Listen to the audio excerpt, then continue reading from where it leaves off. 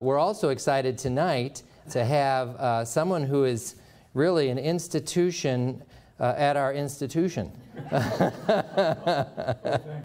I just met Jack for the first time, um, and it's remarkable to meet somebody who spent 36 years at the Wisconsin Historical Society. I've never worked anywhere for more than a few years, so I'm always amazed. But when you find the thing you love, um, that's the key to being happy. And uh, he certainly did a lot uh, through his career with the Society. Uh, too much to mention in, in, a, in an introduction, but um, I was quite amazed at the amount of work he did as a researcher and editor. I don't know if any of you have ever looked at the six-volume history of the state of Wisconsin uh, that was produced over a number of years using a lot of different authors. It's truly, it was an amazing accomplishment and serves a resource for our whole staff here and for everybody across Wisconsin. Anytime you have a question, you go to it. Well, this fellow next to me uh, was both a researcher and an editor on that uh, six-volume history, among the many other things he does. But he's also a musician of quite uh, significant accomplishment, from my understanding. He can restore historic buildings.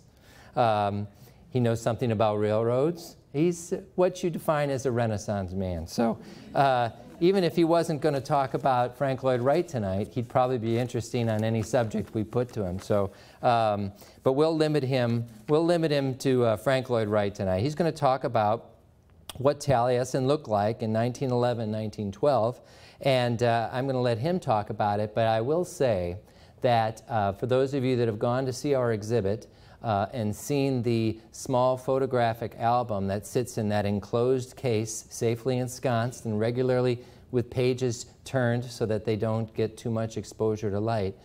Uh, oftentimes, you don't know the backstory behind the acquisition of those types of things. And uh, Jack has a little history on that. It's much more than someone just handed it to us and said, keep this for safekeeping. It was quite an achievement to acquire it. So I think he'll touch upon that and uh, whatever else suits his fancy. But um, we're happy to have you here. Thank you, Jack, and good luck. Thank you, Dave.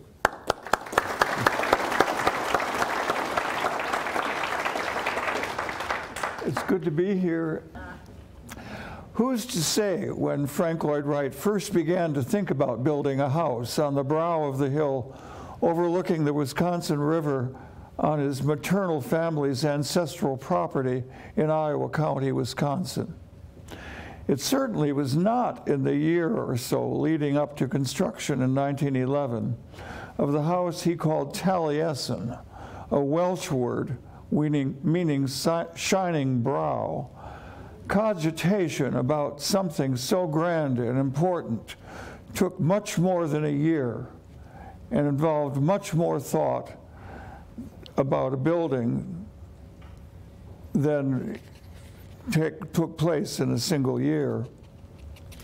Wright's published thoughts about Taliesin, too, are far more grand than that and take into consideration site, purpose, materials, an overarching contextual statement regarding architecture and its place in American society, plus his changing personal circumstances that could not have been predicted at all in 1900. Wright's thought processes for this site had only just begun to percolate back in 1900 or so when he himself took this photograph of the hill on which he built Taliesin 11 and 12 years later. He included this image in a packet of collotypes he assembled to promote Hillside Homeschool, which was a coeducational preparatory school that two of his mother's sisters ran just south of the site of Taliesin from the middle 1880s until 1915. Wright sent some of his own children there, and I believe he may have helped pay their tuition by producing this collotype folder.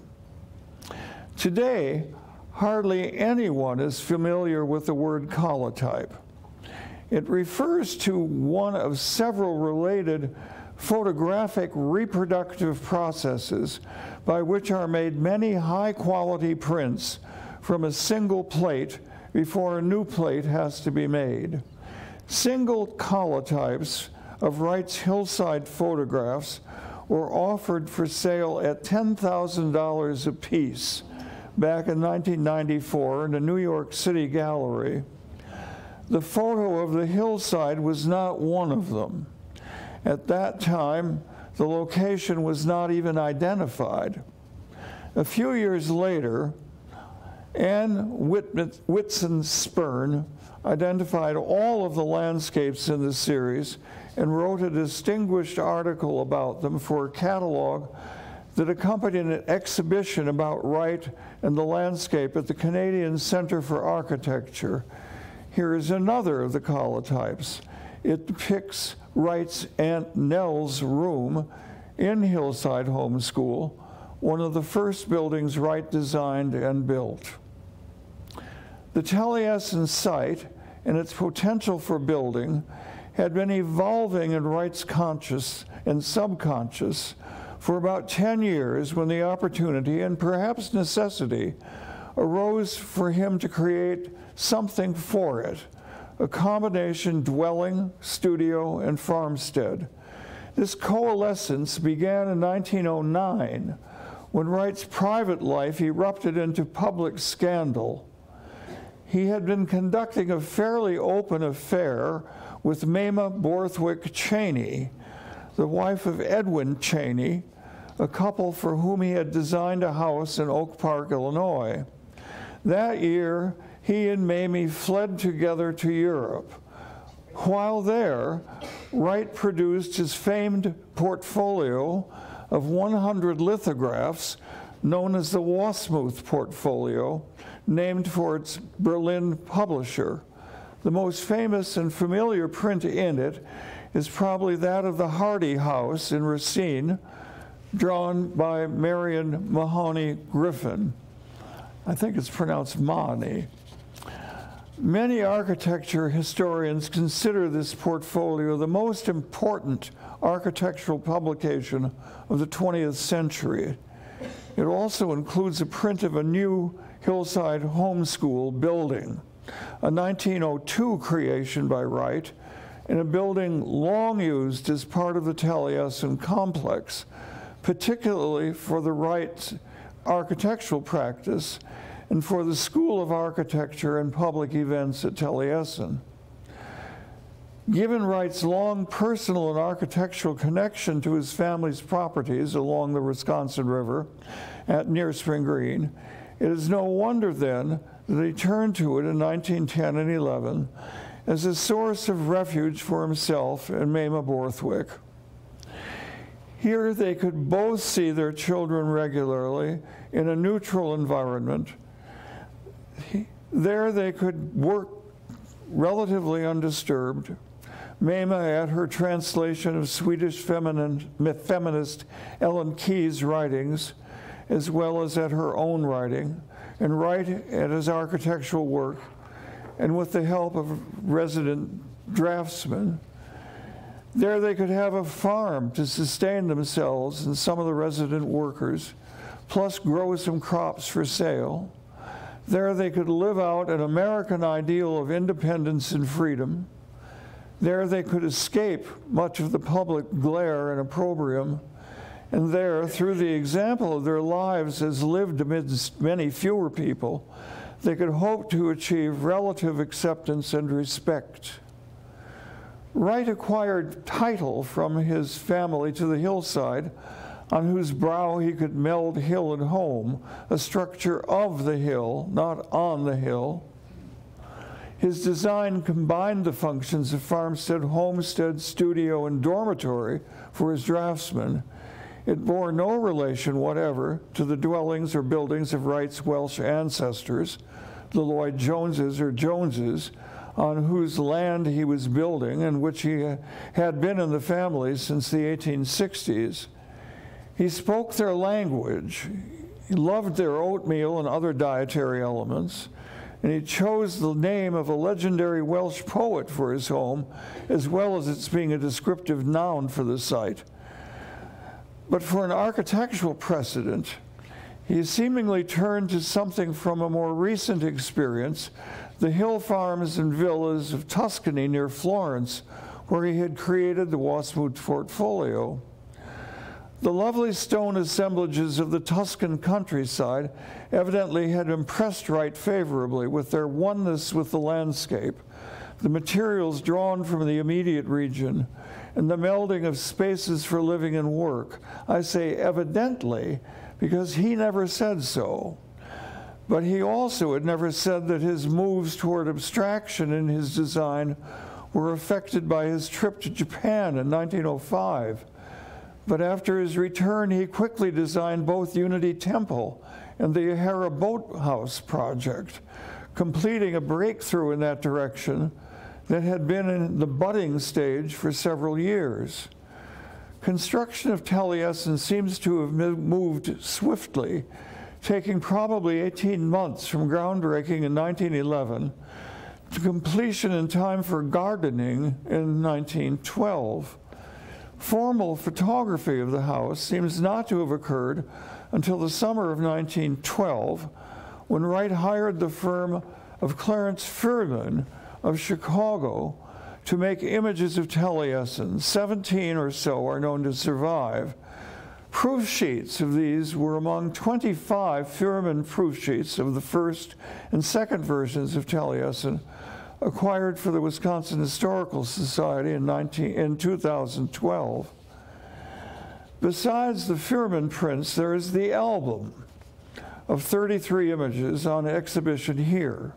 Again, there are 17 Taliesin images, and these were taken by a single individual, one of Wright's draftsmen, a man, man named Taylor Woolley, who lived the rest of his life in Utah and whose negatives are divided between two archives there.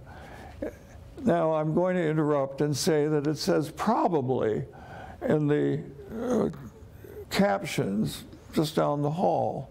There's no probably about it. He took these pictures. Um, the, the negatives don't lie, they are his. Uh, Woolley, the man on the right, is wearing a vest, likely assembled the photo album whose images are in view here, and he probably made the prints in the album, some of the rarest Wright-related images in existence. We do not know for whom the album was made, but I conclude this presentation with some speculations. You'll have to wait. Why Wright did not immediately have more professional images made of Taliesin is a puzzle and a frustration. He reveled in imagery. He had just spent nearly two years assembling and producing a monumental print portfolio of his work, plus a smaller photographic portfolio that served as a less expensive adjunct to the costly print portfolio. The image is of the larger portfolio cover. The 100 prints came in two such protective folders. Although between Woolley and Fuhrman, fewer than 50 interior and exterior images of the first version of Taliesin and its surroundings are known. This is a very slight record for one of the world's most important architectural landmarks of the 20th century. What was Wright waiting for? Probably for more cash from his largest client, the builder of Midway Gardens in Chicago, his largest work to date. Then he could have Fuhrman pull out all the stops. Unfortunately, the well-known arson fire and murders of August 1914 occurred at Taliesin before further truly professional photography could take place. Meanwhile, Woolley had done yeoman's work and filled the photographic gaps for later generations' good. The photographic record for the subsequent two versions of Taliesin is vastly more abundant. The second, erected after the 1914 fire, stood until 1925, when fire again destroyed the dwelling but spared the studio. Unfortunately, Wright's half million dollar cache of Asian antiquities, his retirement nest egg, in the basement under the Taliesin living room was ruined in the fire as well, condemning him to a lifetime of architectural work, not a lifetime as an antique stealer, much to the architectural benefit of mankind. There are hundreds, if not thousands, of pictures of Taliesin II. Taliesin III followed immediately and stands today, the subject of literally millions of images taken by professionals and mostly by eager tourists. Those few images of Taliesin I are the ones that concern us. They are original prints, and as such are the most desirable for scholars, institutions, and collectors, and they fetch the highest prices. At this point, I should unmask myself and tell a story about values. The album, whose images grace the walls here, was acquired in 2005 by the Historical Society largely through my efforts. On the Monday night in January that year, I attended a meeting of the group that was planning the restoration of Wright's model B1 American System Built dwelling at 2714 West Burnham Street on Milwaukee's south side. At the end of the meeting, Mike Lilek, who headed the committee and who was an enthusiastic Wright collector, showed me a printout of an eBay offering, this album. It was only a partial print of the album, but it stunned me. I said something like, Holy crap, that's Taliesin one. Mike said, Yup. And I said, We've got to do something. We hatched the fundraising idea through the Wisconsin Historical Society that night, and the next morning, Tuesday, I set things in motion with the auction closing around 9:30 p.m. on Friday. That gave us 4 days. Mike and I figured the value at about $22,000 for the 33 images, being, some being worth $1,000 each, others 500. About two weeks later, a dealer called me at home and said he thought a fair retail price was $60,000 and asked if I was interested in selling. I told him the album was now the property of the state of Wisconsin and was not for sale. He pressed a little. I was firm, and he hung up. I, I will tell a more complete story about the acquisition of the album at the end of this talk. The message is that the album has extremely high value because it is filled with original prints. We knew of no other collection of original prints in existence, since the Fuhrman proof sheets had not yet surfaced. The images online looked very nice and appealing, filled with information. Keiran Murphy on the staff of Taliesin Preservation Incorporated immediately identified the photographer of many of the photographs as Taylor Woolley, who had worked with Wright on the Wasmuth portfolio and who also was working for him at Taliesin. Copies of some of these images were already at Taliesin, but none, of course, were original prints. Mike is and was an expert at manipulating eBay and soon had identified the seller as Helen Conwell of Fairhope, Alabama on Mobile Bay, a well-known retirement community.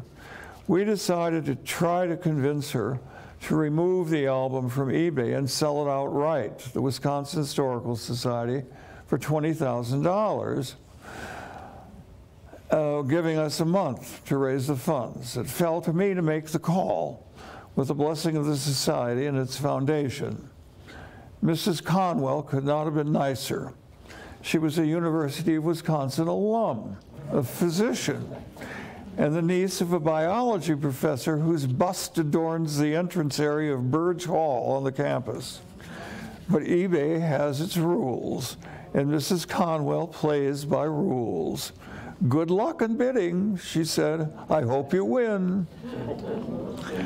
Given the quality of the photographs, raising funds was not particularly difficult for anyone whose Rolodex, like mine, had the names of Wright enthusiasts and collectors around the country, thanks to years of academic work in the right minefields. All I had to do was describe the image, images. The centerpiece was the triptych of the fireplace in the living room.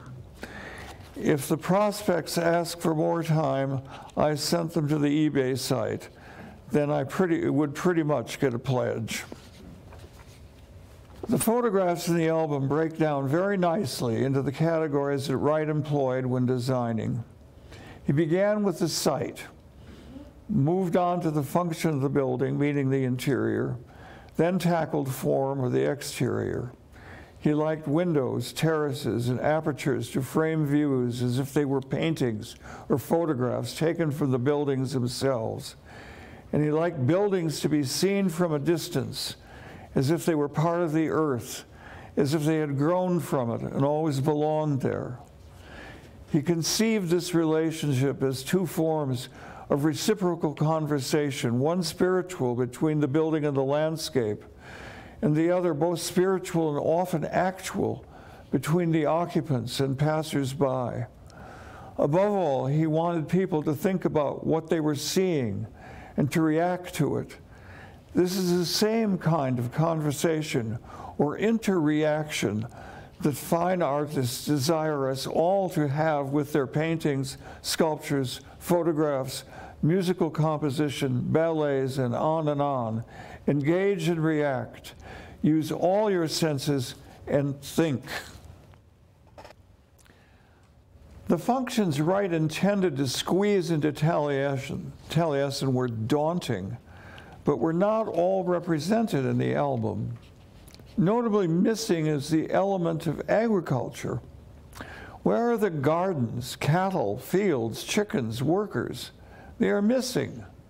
Yet one of the persons for whom this album may have uh, been intended as a gift, Wright's uncle Jenkin Lloyd Jones, was a firm believer in the farm. He was the most important Unitarian in the Midwest and headed the Abraham Lincoln Center in Chicago's Hyde Park.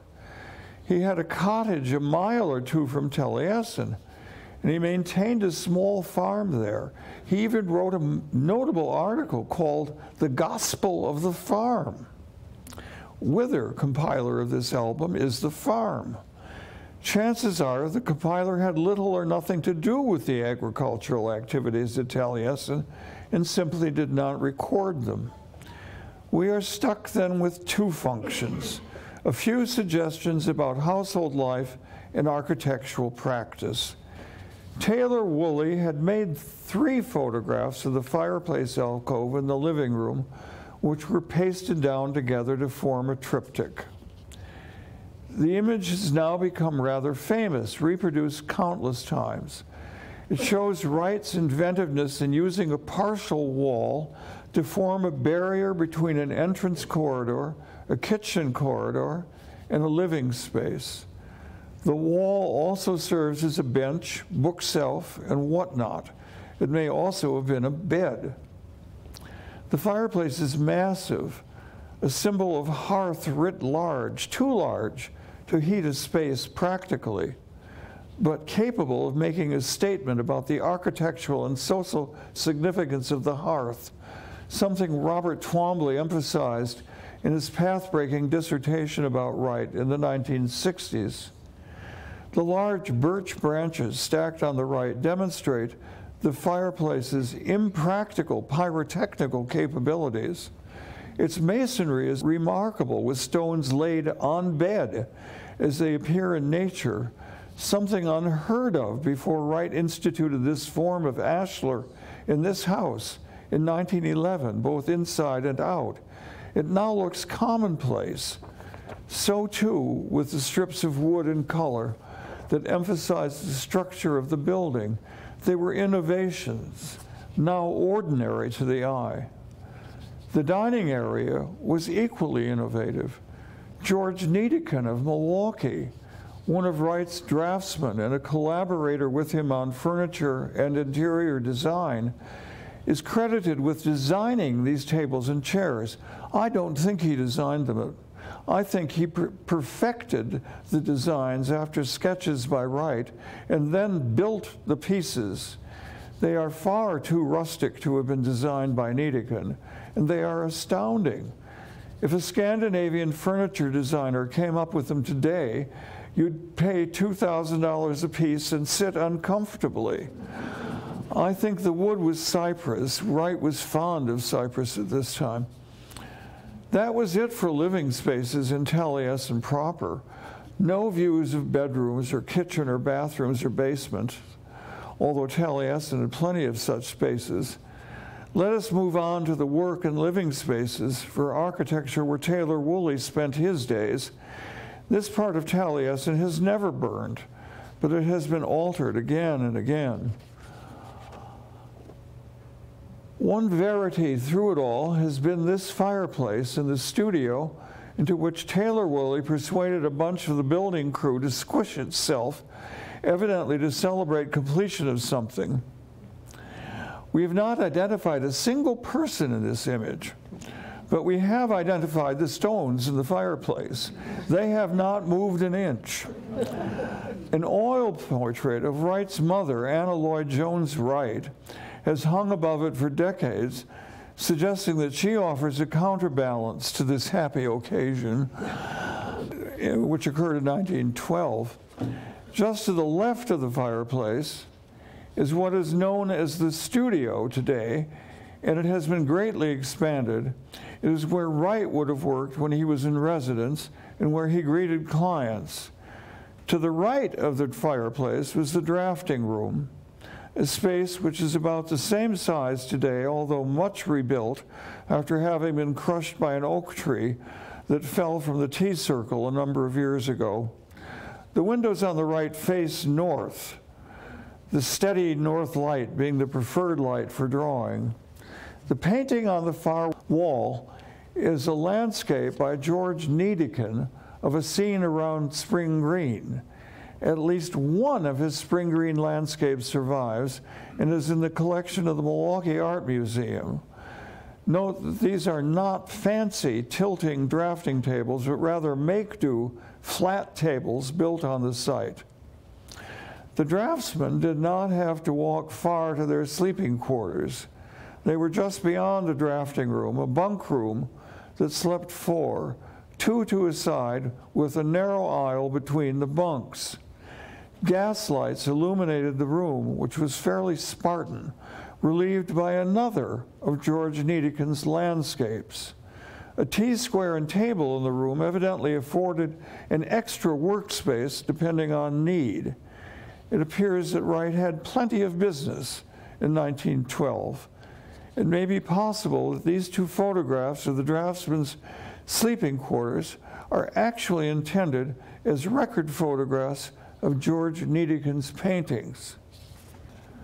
A central function of Taliesin was to blend indoors and outdoors through views, terraces, ready access to gardens, walks, woods, nature in general. Merely stepping from dwelling to studio afforded such experiences. A view across the Wisconsin River Valley, or a view of the exterior of the dwelling itself, from a terrace that afforded wider views of the entire valley to the east, south, and north. Wright's blending of the indoors and outdoors was not generally heralded in his earlier buildings, yet it is apparent at Taliesin in 1911.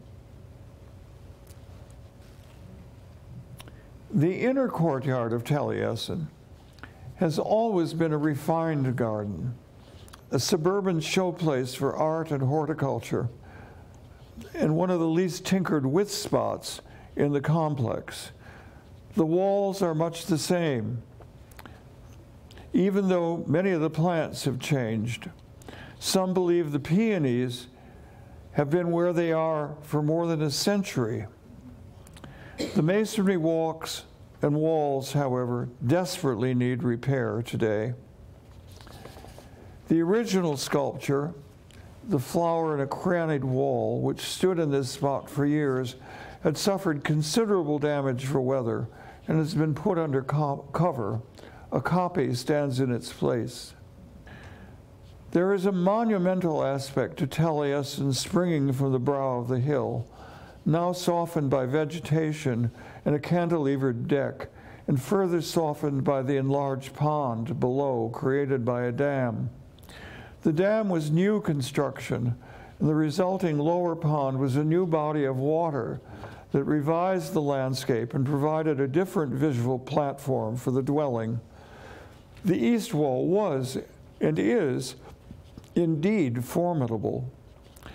At this level, the dwelling is two and a half stories in height, a gray mass punctuated by windows that are not rhythmic at the lower levels, not architecturally pleasing to the eye.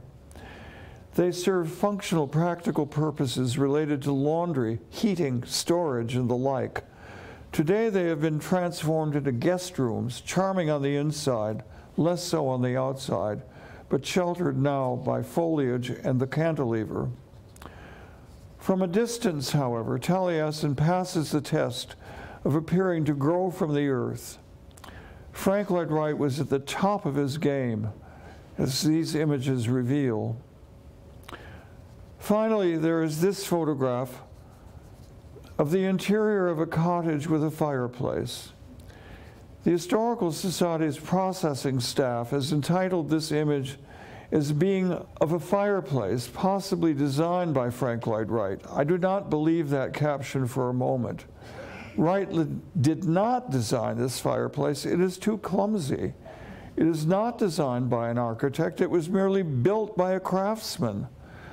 The cottage's windows match those of the windows of Westhope, the cottage owned by Jenkin Lloyd Jones at what is now Tower Hill State Park, but what was then a private resort owned by a group of Jenkins parishioners from Chicago. I believe the photographer had one or two intentions in making this image. First, he was documenting the interior of a cottage, perhaps for its owner, or perhaps because someone admired the owner, and Jenkin Lloyd Jones had lots of admirers. Second, he was making a record of a painting over the fireplace, just as he had made a record of two paintings by George Niedecken at Taliesin in the drafting room and in the bunk room. In those images, too, the paintings were centered. The images recorded paintings as much or more than they recorded architecture, even though the details of the paintings were generally lost in the photographs. They would not have been lost on, on the owners of the paintings, nor on the artist. Perhaps the album was a gift to the artist, George Niedecken, or to the owner of one of the paintings, Jenkin Lloyd Jones, who loved this valley and wrote and preached about it in conviction and even with fervor. Now for a whole lot of speculation about this album's history. I would like to think that the album sat in Jenkins Church Library until around 1960 when a house cleaning took place. Two parishioners, Helen and Dale O'Brien, were retiring to a farm home near Taliesin.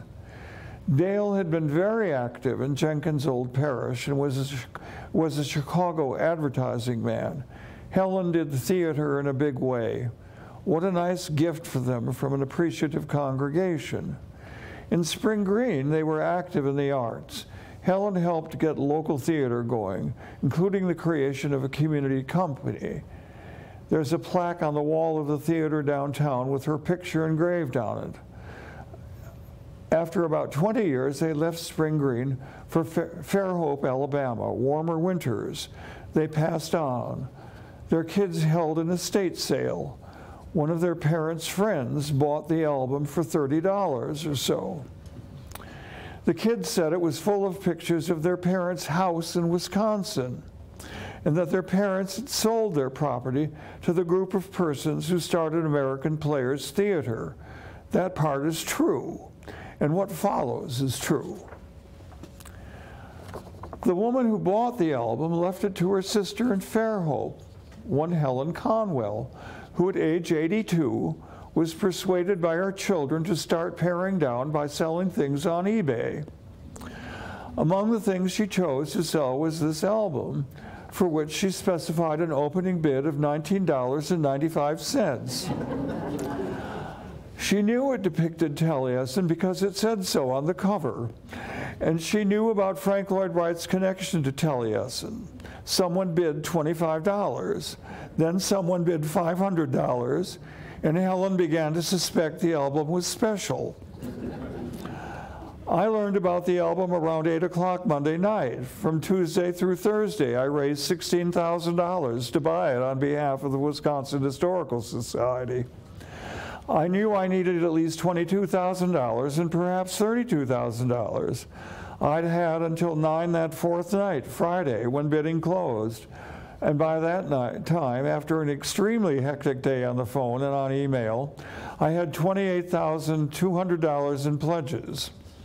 At the pre appointed hour, I made the phone call to the head of the Historical Society's archives, who was having dinner at a restaurant. He, in turn, made the authorizing call to Andy Kraushaar, who would place the bid with his sniper sniperware. With 20 seconds to go before the auction closed, Andy bid the farm. We won for $22,100 against two other bidders.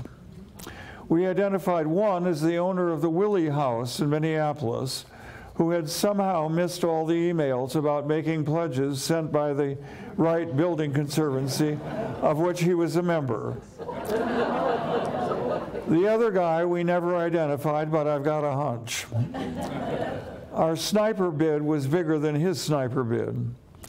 I called Andy first and thanked him. He wanted to know how Mike Lilek and I had pegged the sale price so closely. I said we were smart. Then I called Mike, and we discussed how to maximize publicity. I told him the Historical Society would try to control release of the news and would drag its feet until it had the album in hand. He said there could be other approaches, and the next Wednesday it was all over the front page of the Milwaukee Journal Sentinel, which had forced the Historical Society's hands. Then I called Helen Conwell, and she read me the text of an email she was composing. We both cried. we were happy, but the release of tension overcame us. And then I went to bed because I had to spend the, uh, the weekend at my church job as an organist and choir director. and also preparing a highly detailed and accurate list of the pledges' names, addresses, phone numbers, and email addresses, and the amounts pledged. Sure enough, on Monday morning at 8 o'clock, the Historical Society financial people were bugging me for just that information, and they seemed a little unhappy that I could supply it without further nagging. We tussled about the issue of a discount. I wanted them to hold back some funds for expenses and contingencies since I anticipated that offers of more material would pop up quickly. I was vetoed. Pledges were billed at 76% since I had raised more than we needed. Within days, it developed that we needed $600 to fly an employee to Fairhope to pick up the album because shipping uh, costs were much higher than airfare. And then someone offered some rare images of Washington, uh, Wright in Washington, D.C. for $3,000. Could I raise those sums? Fortunately, friends and neighbors whom I had not asked for money had been calling me with offers of funds should opportunities like this arise again. Little did they know that within less than a month that I would be on the phone. Since 2005, I have raised funds to buy more Wright material on several occasions. I have bragging rights for the acquisition of a cardboard model of a Wright House published by Life magazine, several hundred rare postcards and some drawings, the Fuhrman proof sheets of Taliesin I, and a set of 30 some promotional prints that Wright designed for his American system built dwellings in 1915 16. I'm very proud and I'm never embarrassed about asking for help to acquire such rarities. And you are just plain lucky that the Historical Society has not sent me on a mission this evening, or I would be passing the hat in asking for pledges right now. Thank you.